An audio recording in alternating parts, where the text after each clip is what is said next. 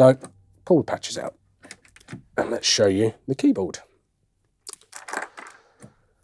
So another key element of the music easel is the 218 touch sensitive keyboard or capacitance keyboard. Um, and this is pretty iconic part of the music easel uh, when you think of kind of any synthesizer uh, with a metallic keyboard. There's plenty of uh, copies of them out there, but the music easel was uh, one of the originators of this kind of concept. Now the 218 is very unique. It's a metal keyboard for starters, but it serves, well, it complements the 208 part of the easel very, very nicely. It allows you to apply portamento to your notes. It has a built-in arpeggiator.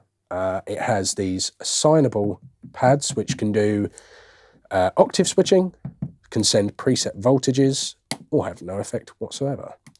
It also serves as the MIDI to 1.2 volt uh, converter. So on the side of the synthesizer, we'll put some shots up.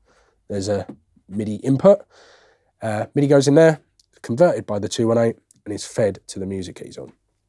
So 218 is connected to the music easel using these three small black banana cables. And I'll show you a couple of cool tricks uh, that it can do. So if I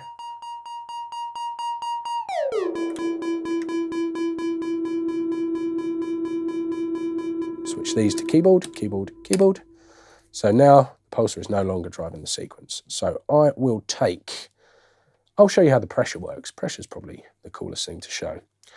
So uh, some of you might be familiar with the ROLI uh, which is a, um, how do they call it now? It's MPE, so it's a multi-dimensional polyphonic expression, or MIDI polyphonic expression as it's now called, since they decided to agree on a standard.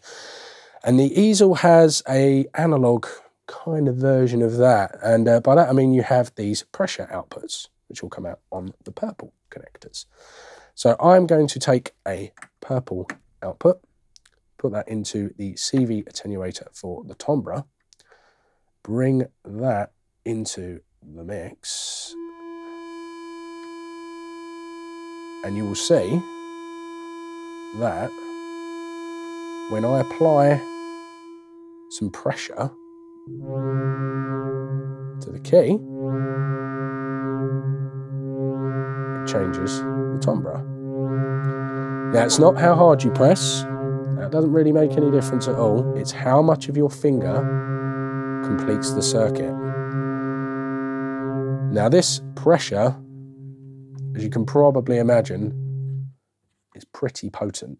You can do a lot of stuff with it. So that is just a basic application of the pressure. But let's take a little more of a uh, different approach. If we take the pressure and apply it to the modulation CV attenuator, we should be able to control the depth of that FM.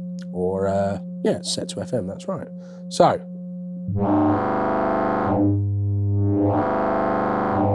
bit chaotic sounding, but I'm sure you get the idea. Basically, I'm controlling both the timbre and the FM at the same time. So.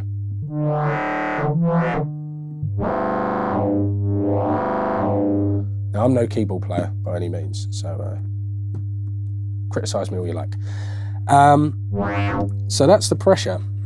Probably another good part to talk about is the arpeggiator. So if I take that out of the mix, and you have uh, two settings, well, three settings for the arp.